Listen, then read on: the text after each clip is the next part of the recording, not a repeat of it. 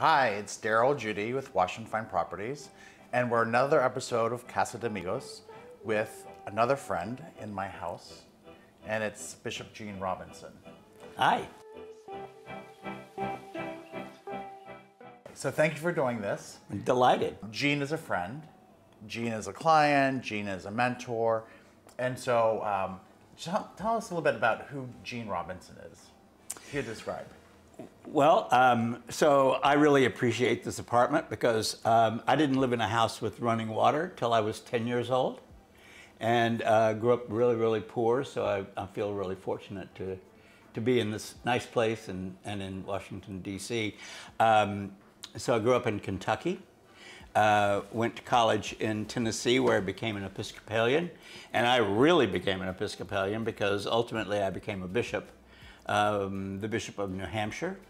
Um, I was in New Hampshire, well, I've been in New Hampshire most of my adult life, um, but for the last uh, 10 years of that time, um, I, I um, was the Bishop of New Hampshire. I retired from that and moved to Washington, D.C. in 2013 and worked as a senior fellow at one of the two big uh, progressive think tanks downtown, uh, the Center for American Progress and then four years ago was hired to be the vice president of religion uh, and senior pastor at Chautauqua Institution in far western New York. And I just now retired from that. And I'm going to actually be retired, I think. Although I'm going to be doing um, uh, quite a lot more work up at the National Cathedral. Okay. Yeah. All right. So tell us a little bit. Like you said that you're from Kentucky. Mm-hmm. What when you said about you? I know you didn't have running water, and I I fortunately did.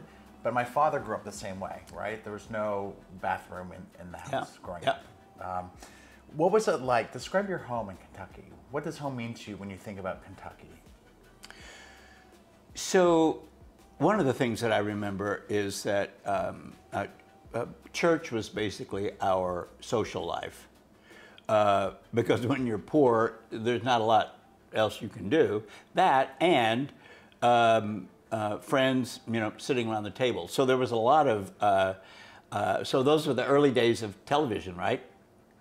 I remember when there were three channels, and and uh, literally people would come to your house or you would go to their house to watch, um, you know, Imogene Coca and you know. It, it, some show of, of some kind, uh, which is really kind of funny to think about because we just take it so for granted uh, now.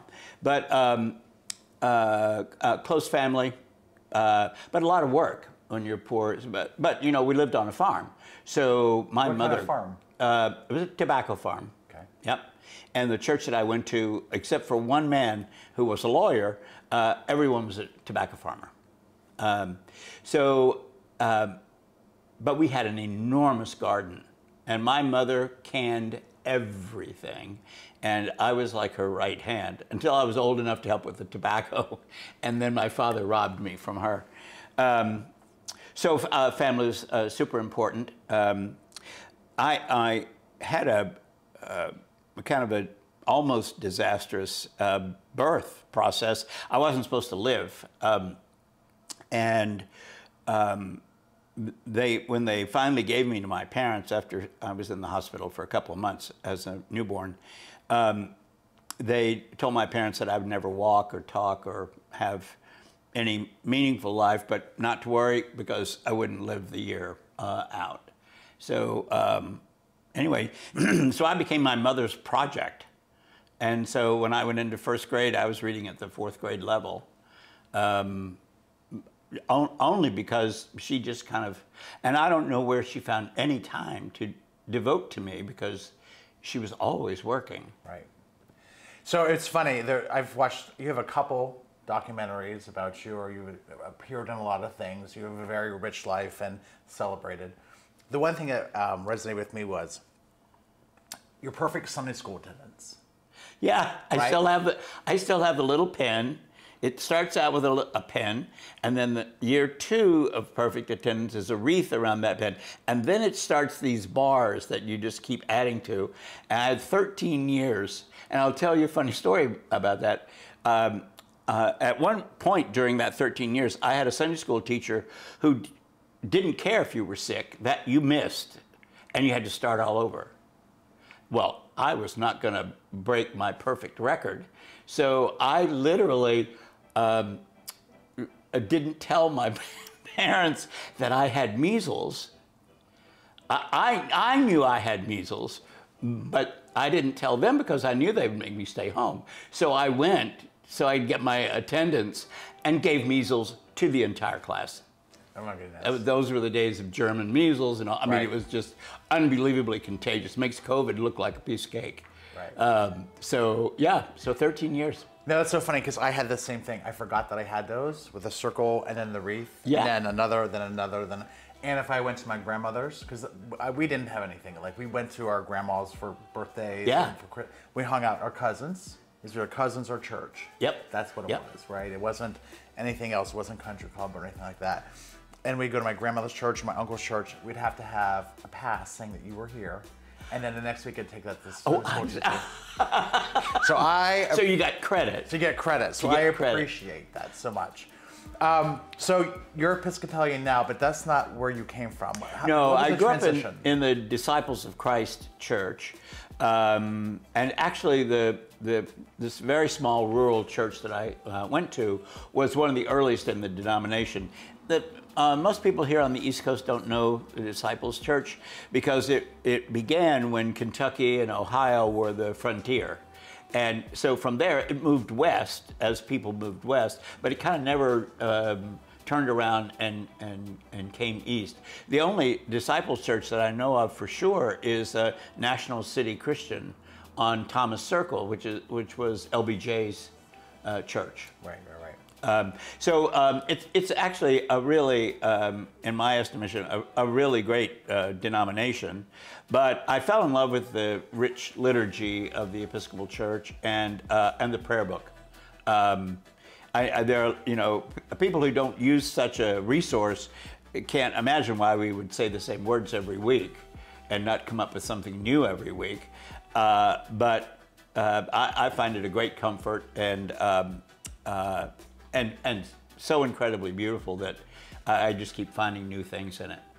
So you become Episcopalian. You, you found a place of home there, right? Mm-hmm. Um, as you transition, how did your parents respond that you're now becoming Episcopalian? What was that like?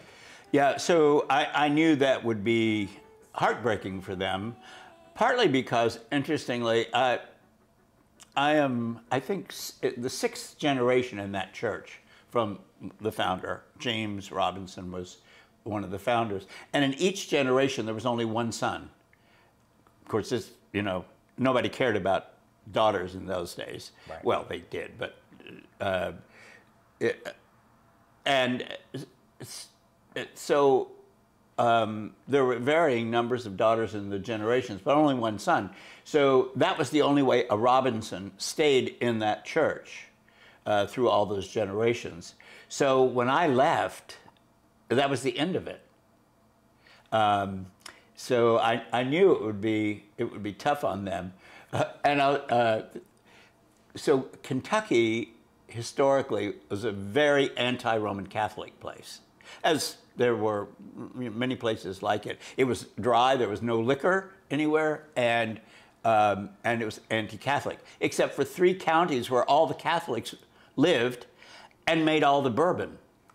So uh, it's just one of those, you know, Right. kind of funny things. So the first words out of my parents' mouth were, well, that's like Catholic, isn't it? I mean, we, we thought there were Protestants and Christians and Catholics. Right, You know, we, it never occurred to us that, that Catholics were Christians. right. So um, uh, once they came a few times, you know, there were there were things that they recognized. So in the disciples' church, uh, there's communion every Sunday, um, and and there is in the Episcopal church. So uh, they they when they saw that they they recognized it. Feels like home. Yeah, Yeah, yeah. exactly. How would you describe that? But it's interesting because I your parents fascinate me. Longevity, right? Your, your, Yeah, my dad just died at age 96 last May. Um, and three months before he died, he was as healthy as could be. he was, you know, uh, uh, run, take, running his own affairs, uh, living independently, driving better than I do. Um, and then just when he went down, he went down fast, and so there's just a, there was a lot to celebrate. I miss him, of course. Right. And uh, I got to see the trajectory of his life.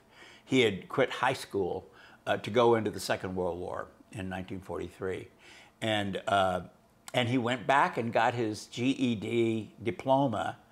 And I attended my own father's graduation from high school. I was 12 years old, and um, and I just I remember being so proud of him. And then I graduated from that high school six years later.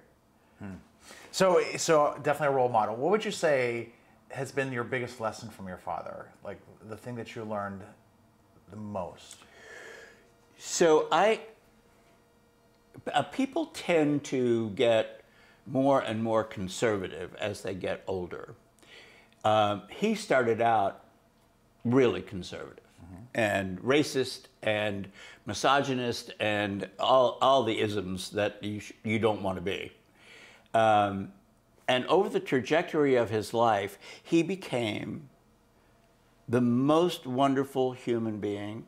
People adored him. He became so kind. So, with that history, um, he, got, he got onto the fire department, which is how he got out of farming. And, uh, and it was my dad, racist, misogynist dad, who brought people of color and women onto the fire department in Lexington, Kentucky. And, uh, and I remember going home in 2009, and he was in a rage over how Republicans were treating Barack Obama. And I, I was like, who, who took my father away and left this thing here that looks like him, but it sure doesn't sound like him? So what I learned is that uh, you, you can just, you can get better and better and better. And uh, we don't have to be what we are right now. We can become something better. That's good. And and I I saw it in living color. You know, um, I, I I saw the transformation. So, your storied life, right? So I had had you over for dinner maybe a week or two weeks ago, and I had friends who came in who, who I didn't I didn't say this is coming to dinner, and I'm I'm to introduce you. Like, oh, Bishop Gene, we met one other time. So there's a reason why people know you more than probably normal bishops, right? Tell us a little bit about that. Yeah, I um, I was a priest in the diocese of New Hampshire, and um, in the Episcopal Church, the the process for choosing a bishop uh, is very democratic. Uh, a diocese um, can can call any priest to to be their bishop, and uh, and it has to be agreed upon by a majority of the clergy and a majority of the laity, and so on and so forth. So um, uh, I was elected uh, bishop in my diocese, and I had been the assistant to the bishop for 18 years, actually, and and so everybody knew me, and and I had been in their congregations doing work. Well, um, and then so I was elected, and the and the world exploded, much to my diocese's uh, shock because I'm an openly gay man, partnered, all of that. And, uh, and, and, it turns out I'm, I was the first openly gay man um, uh, made bishop in Christendom. So, uh, so it's a big deal. Mm-hmm. I mean, uh, just, I still can't get over the honor of it, and um, uh, it was just a wonderful thing. Um, but you know, it was the right diocese for me to be elected in because no one could accuse my diocese of like doing it just to make a point. Uh, they knew me inside and out and, and wanted me to be their bishop. So they were incensed when both the Episcopal Church in this country and the Anglican Communion around the world uh, went, uh, went crazy. Right, yeah. Nuts. Like, it, you know, if a church could have its head explode, that's what was happening, like all over. In fact, uh, right, right around here, um, uh, over in Northern Virginia, Falls Church, that mm-hmm. area, uh, was a was a center for opposition to my um, uh, consecration, and it's you know sitting here in 2022, it's hard to remember um, what 2003 was like and how, how far we've come. You know, with uh, there was still uh, you know no gays in the military, don't ask, don't tell, no gay marriage, uh, and uh, and most of uh, religious, certainly um, Christians, uh, Muslims, and more conservative Jews, and so on, you know, still considered it a sin. And in fact, um, I was elected on the 7th of June in 2003, and three weeks later, um, sodomy was declared legal. It, that was Lawrence v. Texas with the Supreme Court. Um, and the guy who argued that case, uh, I now know here in, in DC. But literally, when I was elected bishop, uh, me and my partner were illegal in about 12 states. So, I mean, that's how far we've come, right? And um, so about 100,000 people left the Episcopal Church uh, because I was going to be a bishop of a little tiny backwater diocese, you know, in New England. But nevertheless, um, it was, yeah, it was a big deal. So uh, I, I, began to live uh, uh two lives. One was this perfectly normal bishop's life in a diocese, mm-hmm. um, where where no one understood very well what was happening to me outside, and then I would leave the diocese, and I then I became this other person. You know, I'm on the Daily Show and the and Colbert and 60 Minutes interviews, and you know, um, and and doing this other thing, which was um, being the first. Actually, uh, I, I, met Barack Obama during the um, um, primaries, of course, because first in the nation primary is in New Hampshire. And uh, he and I had a fantastic relationship, uh, a fantastic conversation. Well, I think we had a nice relationship too, but um, about being the first. It was just him and oh, me right. and a couple of uh, Secret Service people, and uh, and we talked about how uh, how stressful that was and hard. You know, we both got death threats, and I, I when I was consecrated a bishop at, at that big service, I wore a bulletproof vest. I was getting daily death threats for um, actually a couple of years, and uh, but very Christian-like, right? Yeah, yeah, exactly. You got to love those Christians, right? Uh, who love the church enough to kill a bishop over it. So um, it was uh, it, it, was uh, quite the time, and he and I shared one experience, which was that it was actually harder on our families than on us, because hmm. we're out there like doing it, right? right? And you're just putting one foot in front of the other, trying to do the next right thing. But your family's wondering if you're going to get shot. Um, and so, in some ways, it was uh, harder on them um, uh, than on than on us. So he and I always shared that, and then he honored me with um, asking me to pray the opening invocation at the um, uh, first inaugural event at the Lincoln Memorial. Right. And, yeah. So and that was and and then invited me to sit on the platform uh, uh, with him with them uh, when he was uh, sworn in. So to walk out of the Capitol uh, and look at two million people on the mall was Insane. breathtaking. Absolutely breathtaking. It was also colder than kraut, as my father would say. Right. It was just, um, uh, but a remarkable experience. You know, I was I was on that stage as well. I was fortunate enough to be there, up top where you were. Free. It was the coldest day of my life. Unbelievable. Coldest day and one of the most amazing days. I never heard. Uh, uh, a sharp or angry word spoken the whole day. It was, and and there were just people jammed in everywhere, everywhere. Right. everywhere. But yeah, it was it was quite astounding. Do you think that that's part of what your life was and how you what you went through transformed your father? You know, we never talked about that. Um, no, I, no, that transition had, had uh, certainly begun and was well on its way. Okay. Um, before that, I mean, all of what he did with the fire. I mean, he, you know, he was retired for 30 years, right? So, um, so yeah, he had done all of that before, long before I was consecrated a bishop. Uh, but he just kept getting better and better.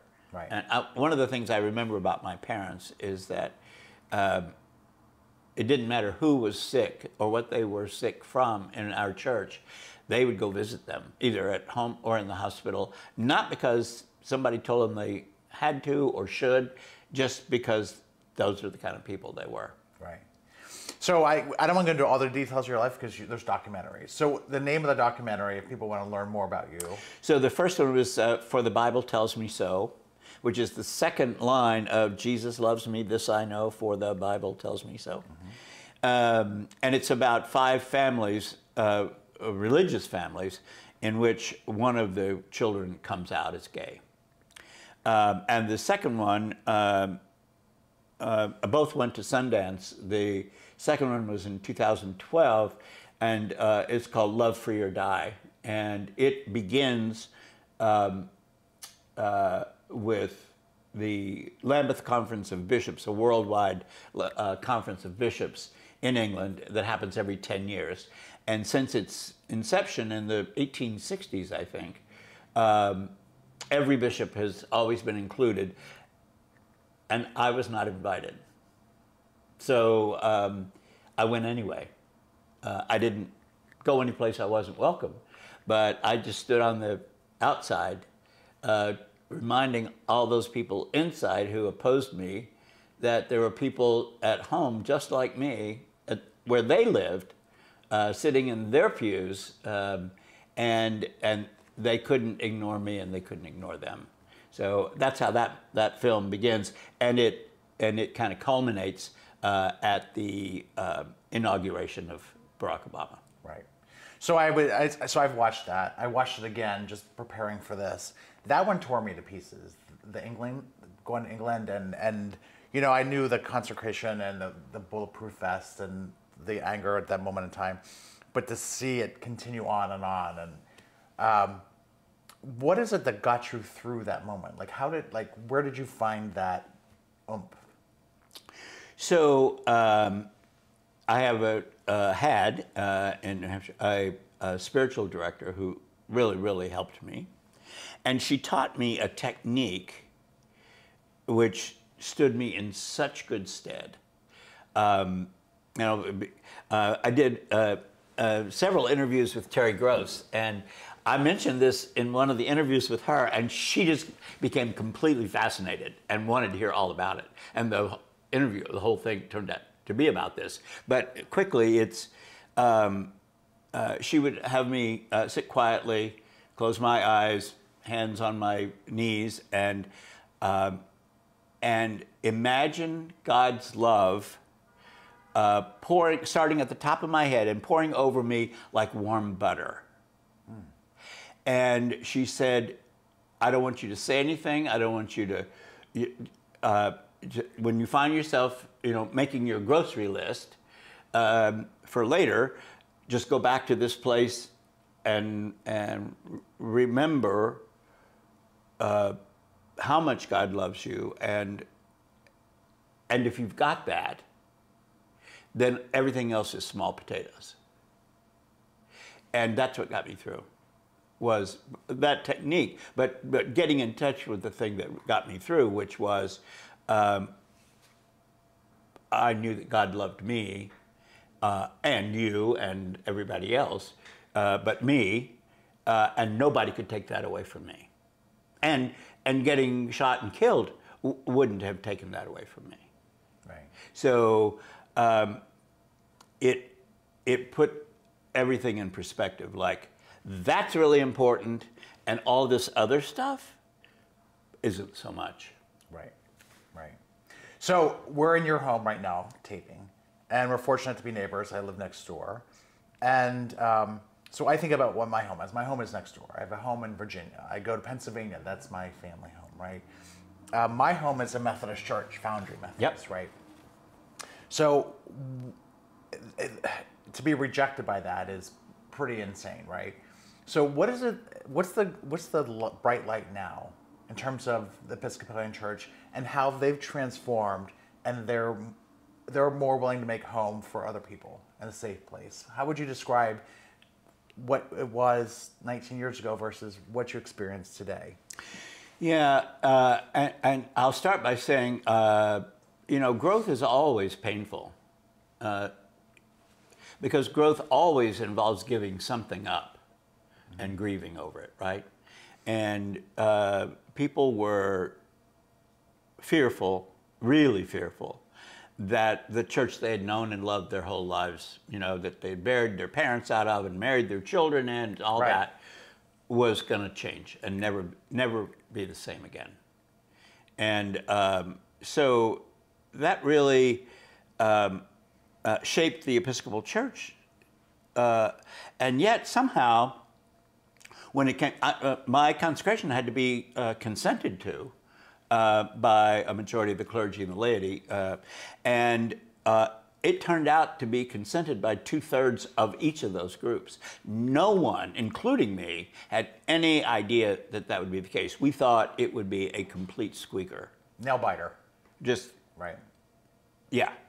So, um, um, so what I think the Episcopal Church learned is that uh, you, you can grow in a way that that uh, feels really hard, but it's not going to kill you, and in fact, it can make you better. And uh, mercifully, we've then expanded that kind of inclusion uh, so that uh, not only, I mean, we've all, you know, we've had women uh, clergy and, and women bishops and all of that for a while, but um, uh, now it is the canon law of the church that transgender people um, can be clergy uh, and be bishops and so on. Uh, we don't at the moment have a transgender person uh, in a bishop's role, but we've got a, a whole bunch of priests. And, and people have had the experience of being so opposed to something, and then when they meet someone who, who is that thing that you've feared and doesn't look fearful at all or uh, you know scary, uh, that it changes you. And I think uh, that's certainly not been a unanimous um, experience, and there are still people who uh, disagree with what we did and, and so on. But for the most part, uh, we're done with that. And it's really nice to be on this side of it. And it, I, I, I'm so sorry that, that the Methodist Church as an institution is not on the other side of it yet.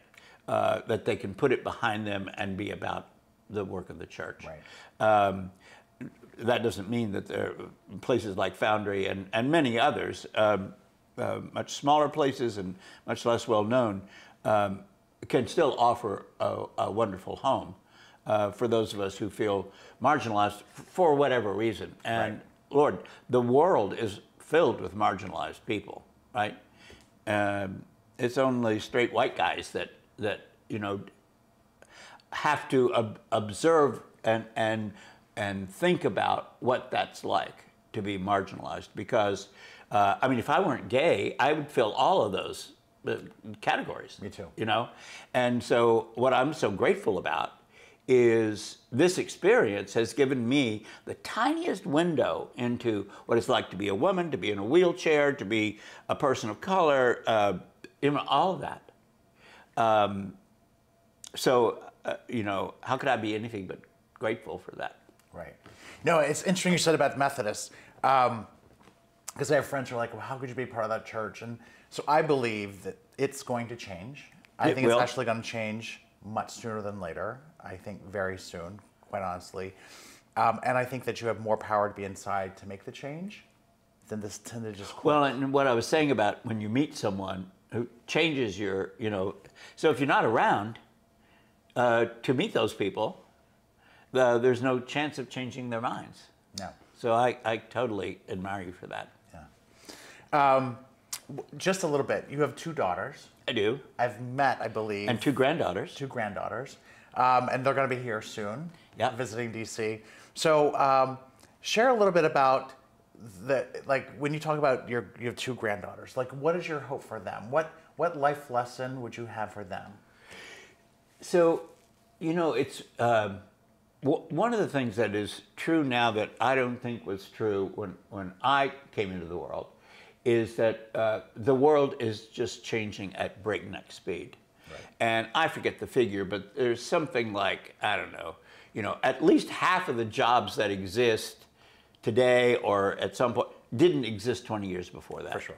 So when I think about my granddaughters and, and their future, uh, you can't think specifically like that because uh, they're going to be living in a world uh, very different. Who knows in what ways, but very different.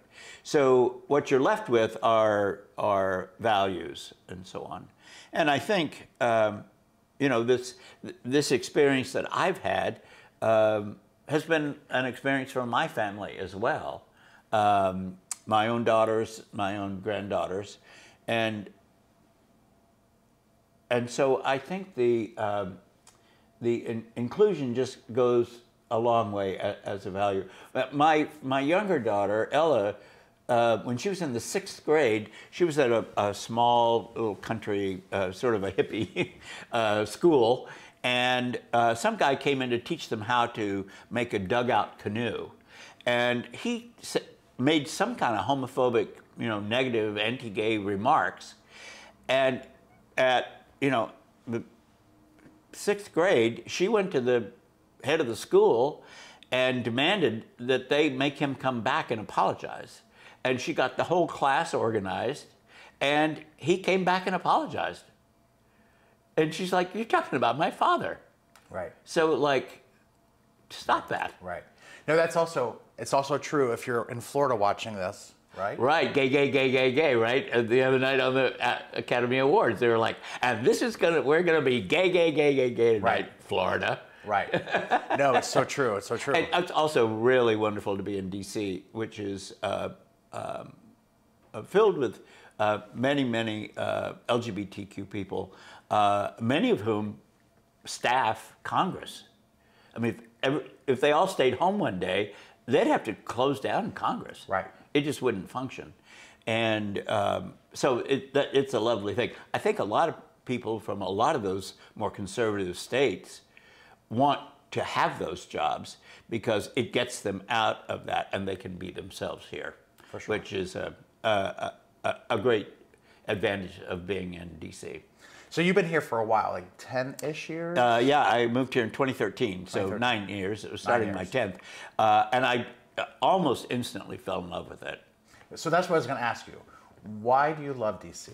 What is it about? DC? So uh, New Hampshire is the second whitest state in the union. So it's just so great to have regular, ongoing contact with people of color because uh, it's a different perspective. And the, the more perspectives we have, the more people that are at the table, the better off we are. That's, I, I just believe that. Um, I love hearing uh, 30 languages spoken in, in a day. Um, I I love the height restrictions here, and and you and I live on the street that caused the height restriction. The Cairo uh, building over here, two blocks from us. Um, uh, I guess uh, all of Dupont Circle went wild when they put up Right. this. I don't know, 13 stories or 11, I think it's 12? 14. something like that. Uh, but they were they were afraid that it this would become a, a city of canyons, the way Manhattan is, and, you know most downtowns have skyscrapers, and uh, and so they uh, this height restriction uh, ensures that the uh, buildings on the street are in proportion to the width of the street, and there's a formula for that. And but what it does is, and I think people super undervalue this, uh, or just don't even notice it, is that you can see sky no matter Right. where you are, no matter where you can be on the tiniest street in DC, and you can still see the sky and uh, and that's that's the height restriction, and I think it it makes this city unique, uh, at least one of the ways in which it's unique, um, and I love it. Right. So I and I just want to go back to New Hampshire one more time because that's a very special place. Yeah. right? So the, the, the people there that surrounded you and supported you, and maybe that was an aha moment that might have only happened there at that moment in time. What would you say to those people that surrounded you and wrapped you in love and support during that time? Well, so I mean, we were in constant con- um, uh, conversation, and uh, I I just couldn't believe how committed they were. So, so remember, I told you that I needed uh, consent from the clergy Right. and laity of the of the wider church. Uh, they they decided before that convention and that vote that uh, if I wasn't consented to, they would elect me again. And then if I wasn't consented to, they would elect me again until, until the church relented and let them have the bishop they wanted. Of course, you know, one of the things I love about New Hampshire is the people are just totally cantankerous and ornery. And that nobody was going to tell them who they could have and not have Right. as their bishop. Live free or die, right? Live free or die, exa- which is Right, part of the name of the film, of the second documentary. Love free or die is a kind of a take on that. But they, um, uh, they were, it, uh, they kind of fiercely uh, defended me and uh, were, were on my side. Um, you know, during that Lambeth conference in England, which lasted for three weeks, um, uh, I had calls back to the diocese, and people would gather to express their support to me over in England. Uh, that kind of thing. They just, uh, um they were just really quite amazing. Good people.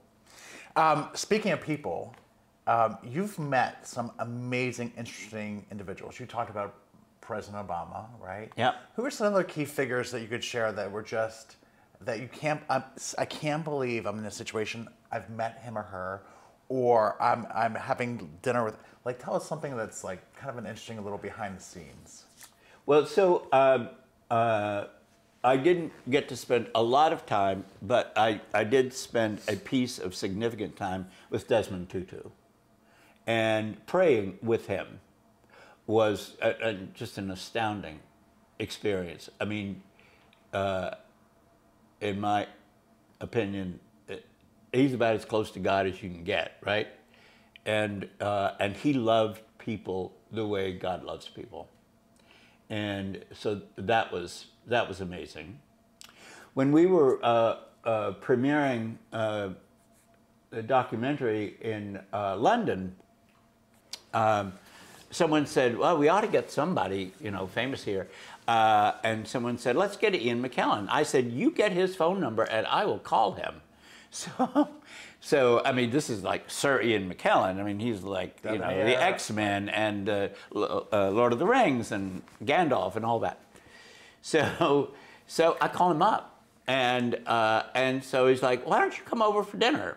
So I I pictured you know there'd be somebody a cook in the kitchen. No, he cooked me dinner, and we we just instantly hit it off, and we were finishing each other's sentences, you know, so he's he's been a, a, a dear friend, and uh, um, every time I go over, he, you know, he has a dinner party for me or or whatever. He um, once I was there, and he he said, "Have you seen the new uh, exhibit at the National Portrait Gallery in Trafalgar Square?" And I said, "No. Well, what is it?" He said, "Well, it's called Gay Icons, and you and I are both in it." And uh, I said, "Have you seen it yet?" He said, "No. Let's go." So, so we all, we went off to Trafalgar Square, and of course, it freaked out the people who were there Right. seeing the exhibit to see us walk in, and then they all wanted their picture beside our picture. Anyway, um, uh, so he's he's. Uh, so effervescent and lively, and so and he's ten years older than I am, and um and he's just done so much good uh, for LGBTQ people, and um, he's just uh, a, a generous, uh, wonderful, and unbelievably talented man. That first night when we had dinner, uh, I said to him, "So would you?" So we're sitting, and he's like, "We should have music. Let's get Elton."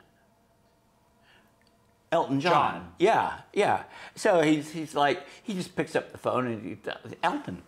So what are you doing on July? You know, so and then uh, uh, he's like, we should have it in someplace nice. He said, how about um, Royal Albert Hall? I'm like, okay, that'd be fine. so anyway, it was uh, it, just being around. It was really quite amazing. And um, uh, so, uh, who else? Um, uh, it was uh, because I enjoyed the Daily Show and also Colbert Show so much. It was uh, a joy being on that. It was, it was actually the night of, of the inauguration that I was first on the Daily Show. So it was a live feed from, from here in DC uh, to, to New York. And um, probably the greatest line I've ever come up with in my life uh, happened just completely out, because you have no idea what they're going to ask. And this was live. Right. Right. So, and I think Jon Stewart, the last thing he expected was for a bishop to be funny. You were sassy. Right. Right. So, so he he starts out with the with the observation that it must have been really hard moving around and, and all those people, you know, two million people on the mall, uh, and especially hard for you, Bishop Robinson, because well, you're you're a bishop, and bishops can only move diagonally. You have to know chess right, to chess. know that. Uh, I did at least know that much about chess, and somewhere out of the blue, I responded, uh, "Yes, John, but you have to remember there's also a queen on the board."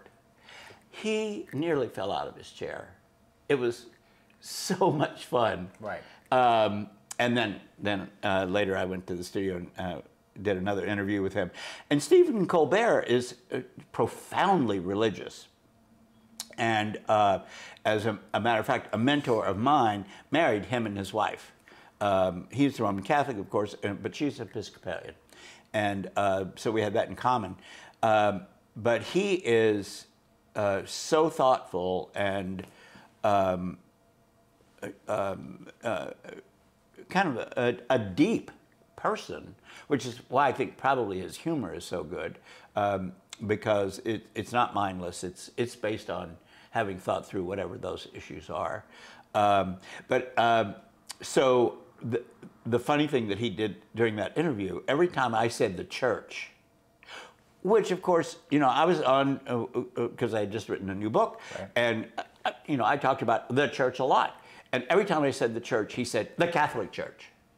I said, "Oh no, not the Catholic Church, but the you know the church." Right. And he would he would insert Catholic every time I said it. It was so funny. It was both irritating and hilarious. So anyway, people seem to uh, uh, seem to enjoy it.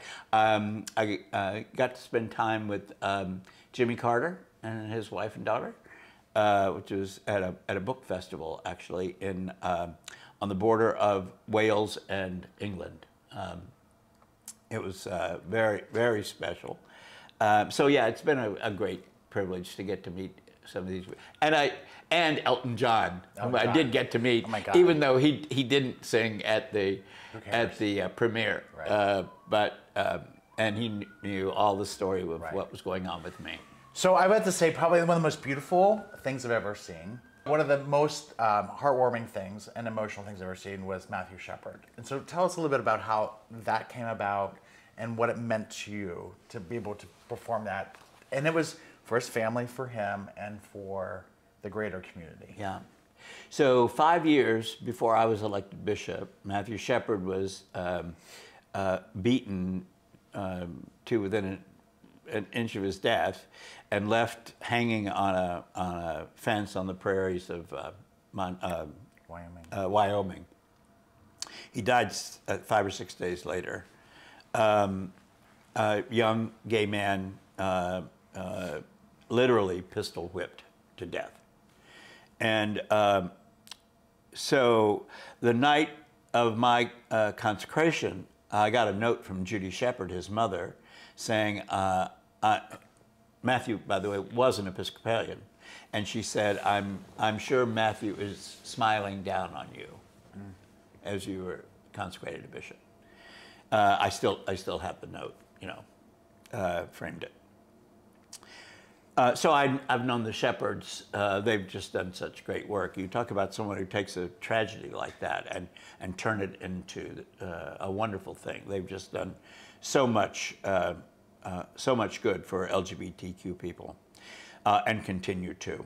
So I got a call in, that was in 1998 when he was um, killed. And in 2018, 20 years later, I got a call from Judy, and she said, You know, we've never buried Matt's ashes because we're, we're pretty certain that some of these hate groups would uh, deface and, and uh, uh, you know, do, do something awful uh, right. with the grave. So we literally have never buried his ashes. And someone mentioned that maybe the National Cathedral uh, would be a place uh, that would be safe. And so I said, well, Judy, uh, you want me to talk to them? And she said, would you please? So, um, so I called up the dean uh, of the cathedral, and he was just instantly um, open and welcoming, and absolutely, this is this is the place for him. And the crypt downstairs is is a place people can't get to. So it fulfilled what the what the Shepards were looking for, which was uh, a place that wouldn't be defaced and, and, and so on because Matthew was there. And then we began to talk about it sort of becoming a, a kind of a pilgrimage, pilgrimage place uh, for people to come and think about uh, uh all of that. So, um, so we did a service um, there at the National Cathedral, uh, at the end of which we uh, interred his ashes uh, down uh, uh, in the crypt. But I wondered, I mean, it, it, had been 20 years. There are an awful lot of LGBTQ people here in DC who weren't even alive then or old enough to remember it. And I thought, hmm, I wonder if any of them will be here. And uh, will, will people, well, the cathedral was packed. You couldn't get in. It was just packed.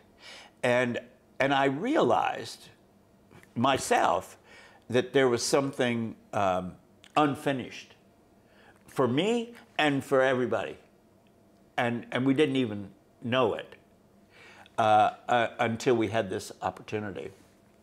And so, um, and I also, at the beginning of that service, I acknowledged that I, knew, I, that I knew that there were a lot of people there for whom um, it was a hard thing to walk into a church because for many of us, it's the church that has treated us so poorly and made us feel so badly about ourselves and, and that we've had to work so hard to overcome it. And so I, I wanted them to know that I knew how hard it was for some of them to come into that church. It's sort of like going, going back to an abusive spouse, right? Sure. And um, so I, I sort of welcomed them in that way.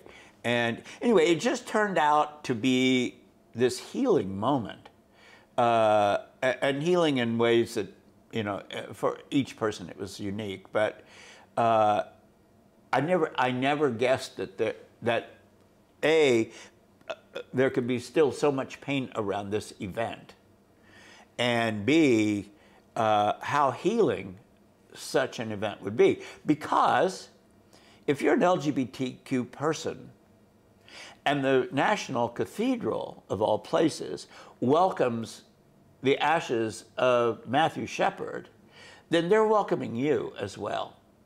And it, I think it, uh, while, while it is the Episcopal Cathedral for this Episcopal diocese, it's also the National Cathedral. Right. And, and so it was not just any church that, that was welcoming uh, Matt, um, but the National Cathedral. And, and, and thereby, it became an event, I think, for our whole community.